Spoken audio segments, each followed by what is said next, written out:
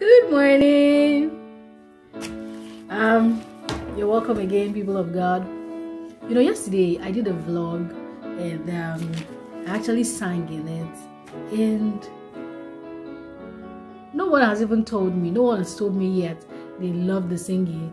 But I was looking, you know, I, I listened to the vlog over and over again, and I just loved it. I, I loved the song, I loved my singing. I don't know, but I just loved it. Um, so now the music plays on me, probably in this season. And you know something else that I love? I love hymns. I love hymns. And well, it's not just me. I love hymns. Jesus loves hymns. Um, every Christian who is a, a Christian, they love hymns. And I'll tell you why in a bit. So today, what we're going to be speaking, we love hymns. Yeah, we do. so um, I'm to start with this first hymn. I've been singing it over and over and over again. And I'm not planning to stop yet. So let's dive in. There is a name I love to hear. I love to sing its words. It sounds like music in my ear. The sweetest name on earth.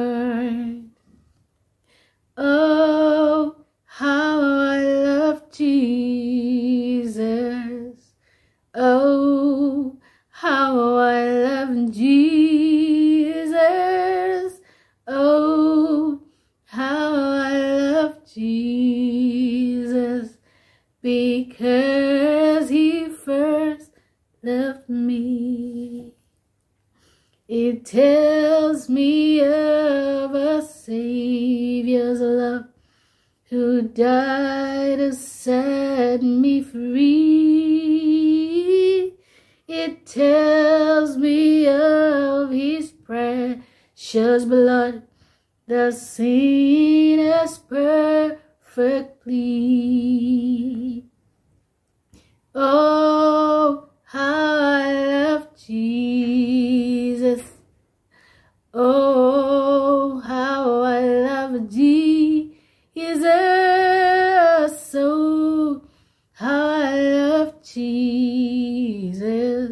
because he first loved me. Because he first loved me. You know,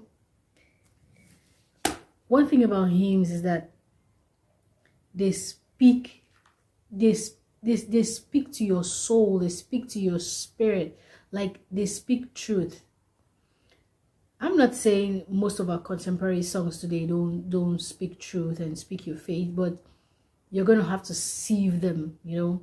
Some of them are just i don't even have a name for it. Some of them are, are we have had gracious songs in our generation you know songs that that move the spirit. Uh, but something i know about hymns they go through the ages. They go through the ages jesus sang him his disciples sang him christians over time they have sung him and know what we keep on singing hymns. And and and it does something. It connects you to the faith of everyone who has gone ahead of you. It, it, it speaks to who we really are sincerely. Like this hymn oh how i love jesus. I do love jesus. I love him so much. But you know what? Not of my own accord not because i'm a good person not because i am loving in the first place i love him why because he first loved me the bible says while we were yet sinners he came and he died for us and guess what we're not sinners anymore. Now we are saved by grace. We are saved by grace through faith. But even now, we are, we are walking and stumbling. We are falling and, and standing. And he still loves us. Oh, how we love Jesus. Not because we are loving people, but because he first loved us. This is, this is so true. This is the word of God. This is our reality. This is this is showing our indebtedness. Indeed, now we have the ability to love because he loved us first. I love this hymn. You can check it out on net and sing and, and, and any other hymn. You know, for you, many other hymns could speak to you. You know, I I I really, really, really love hymns. This one I love exceptionally. Uh, one line I'm not going to forget to hint. The second the second stanza says, the last part of it says, this name Jesus, it tells me of his precious blood, the sinner's perfectly. In other words, we were sinners. And it's not just that we were sinners. We could, even if we realize that we were sinners and we want to say, oh God, please forgive us. The thing is that God is merciful, but he's also just. The just recompense for sin is death. So, why we would have said, God, we're sorry, still, that sin had to be paid for. Still, the justice of God demanded that that sin had to be paid for. So you're sorry, you're not sorry, it has to be paid for. That's exactly what Jesus did. He came and he paid for us. He paid. He died on our behalf. So this stanza says, He tells me of his precious blood, the sinner's perfect plea. So now when I come before God, I don't just say I'm sorry. I say I'm sorry by the reason of the blood of Jesus. So now both his mercy and his justice are satisfied. His mercy is that he wants to forgive me. His justice is that he has to, he has to, he has to punish me for what I have done.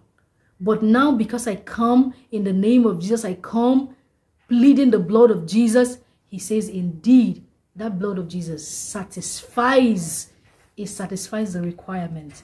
And so I am let go. And so I go free. Oh, how I love Jesus. His blood is the perfect sinner's plea. I love it.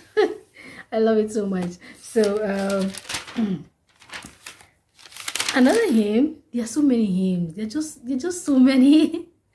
okay, but this one is very, is very, um, is very popular. But even in his popularity, every day he speaks. And it's actually speaking so much to me right now at this point in my life i do have so so many challenges. But you know what? I just count my blessings. I might have challenges but i count my blessings. I'm alive. I am healthy. I have a, a, a god-fearing loving husband. I have a beautiful son who's growing up in the fear of the lord. I am i am safe. I am protected i have plenty to eat and to spare i am a blessing to my generation I, there is so much. I have a relationship with God. I can come into his presence anytime I want and I'm accepted. There is, believe you me, when you begin to count your blessings, all of your challenges will fade. They will seem like nothing. So you already know that hymn. When upon life's billows you are tempest tossed, when you are discouraged, thinking all is lost, count your many blessings, name them one by one. And it will surprise you what the Lord has done. Count your blessings, name them one by one. Count your blessings, see what God has done. Count your blessings, name them one by one, and it will surprise you what the Lord has done. Uh, I'll take one more stanza. I'll take stanza three. I love that stanza. When you look at others with their lands and gold, think that Christ has promised you his wealth untold. Count your many blessings money cannot buy. Your reward in heaven, know your home on high. Count your blessings, name them one by one. Count your blessings, see what God had done. Count your blessings, name them one by one, and it will surprise you what the Lord has done. And it always surprises me what the Lord has done. And it will surprise you what the Lord has done. Whatever be the issues of your life, whatever be the challenges at the moment, listen, sit, count your blessings. Count your blessings. And, and, and do yourself a favor. Don't begin to count the things you can see. Those things are mainly peripheral. Count the things you cannot see. I am saved. You know how many people are in this world? You know how many profess to be Christians? You know how many are really Christians? You know how many have a relationship with God? I am so privileged. I am so privileged. I count my blessings. I count my blessings. The Lord has blessed me indeed, and He has made me a blessing. Oh, I am grateful. Yeah, I love Him. I told you, told you. They speak to you. They speak your faith. Uh, the last one I'm going to speak about today. I love this hymn. I do love it. I love other hymns, but I do love this hymn. It pays to serve Jesus. And I, I exceptionally love this hymn because uh, it's not so much what we hear in our assemblies today. And I am so particular about uh, the, the way that uh, uh Christians have drifted so much from when I from when I give my life to Christ, like um, over just maybe 15 between 15 and 18 years ago. Up until now there is a huge drifting believe you me a huge drifting from just basically loving god serving god following him doing what he asks to this Christianity that says, ah, I'm going to have this, I'm going to collect this, oh, look at me, I'm shining, oh, look at me, look at me, my Bentley, my Bentley's coming, I'm moving into my house, I'm, you know, it, it, it's, so, it's, so, it's so different in Christianity just a few years ago. How much more? Centuries ago.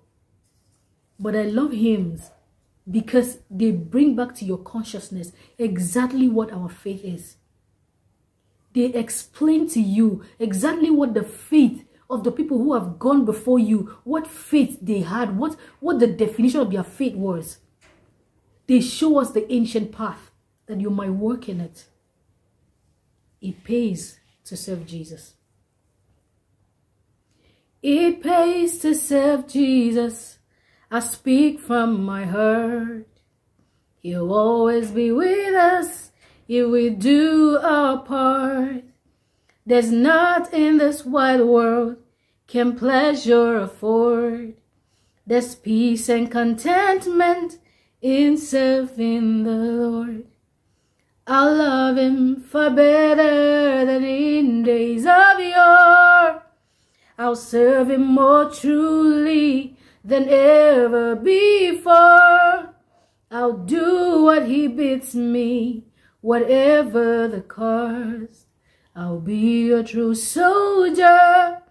I'll die at my post. How rich is the blessing the world cannot give. I'm satisfied fully for Jesus to live. Though friends may forsake me and trials arise, I'm trusting in Jesus. His love never dies. I'll love him far better than in days of yore. I'll serve him more truly than ever before. I'll do what he bids me, whatever the cost.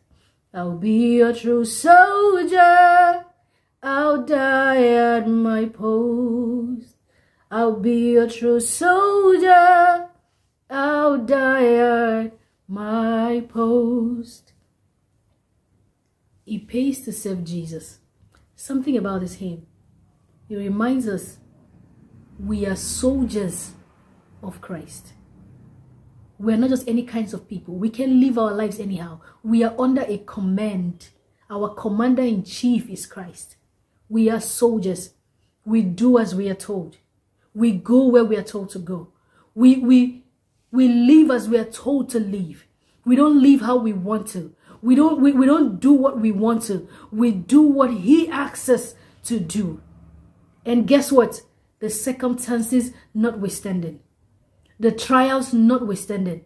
Not, not, not minding the bullets flying past. Not minding the bombs that are going off.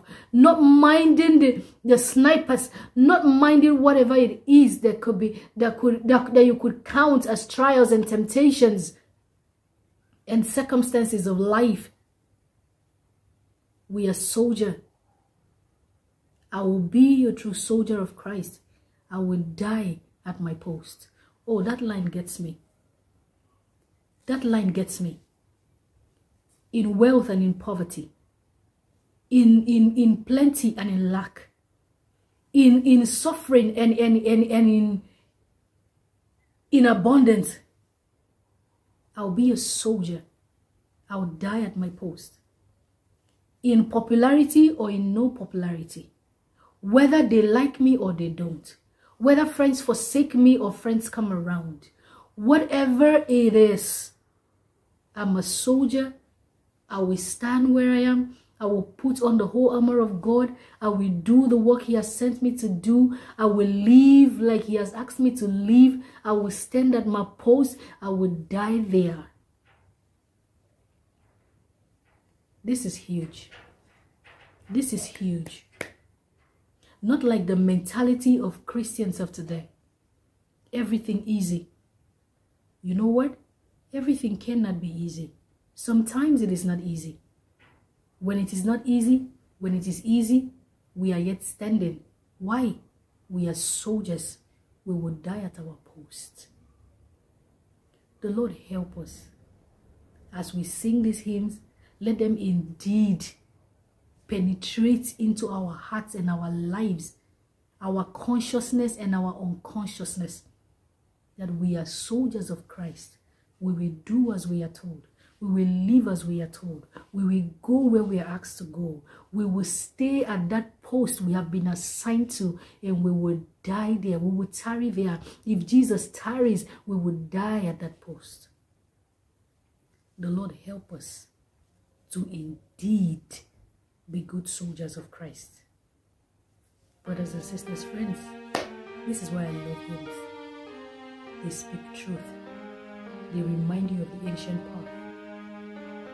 The Lord help us to find the path of, of life, to continue to walk in His shadow, to do His will, to stand as soldiers of Christ in our generation, in our lifetime, to stand at our post to die at our post because indeed it pays to serve Jesus. The Lord help us and bless us all in the mighty name of Jesus. Thank you very much. Go dust your hymn book and sing hymns. God bless you. Bye bye.